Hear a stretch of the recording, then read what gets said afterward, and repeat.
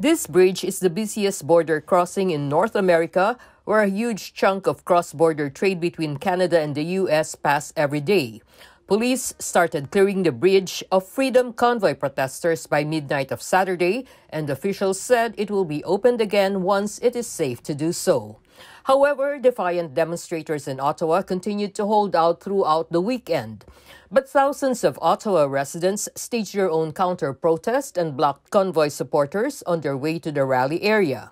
Filipino Canadian academic Leonora Angeles said Immigrants in Canada are horrified at the message of white supremacists drowning out the original anti vaccine mandate issue. Many of us, of course, uh, watch in uh, horror, um, anger, um, disappointment uh, when we see this uh, happening in our uh, country.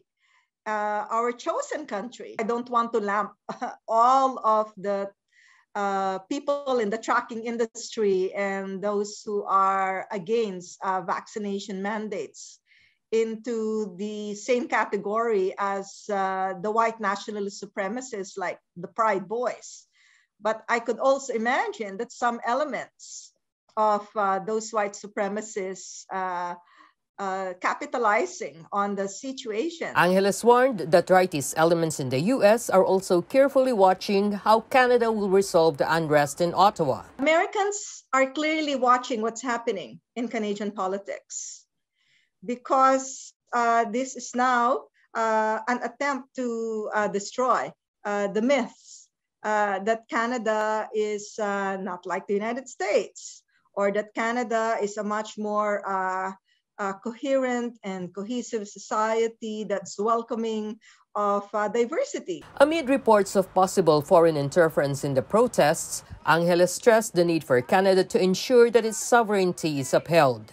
Angeles added that government should hold into account anyone who violated the law during the protests. There has to be some uh, consequences to ensure that this doesn't happen again. Meantime, Filipino Canadians are split on their views about the protests. Yun ang rights nila. Gusto nilang ituloy. Kailangan waited para lumakad na rin ang economy. Tama na kasi narinig na rin sila ng government, ng tao.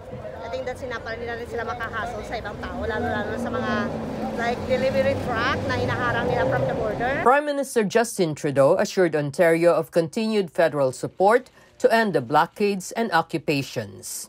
Rowena Papasin, ABS-CBN News.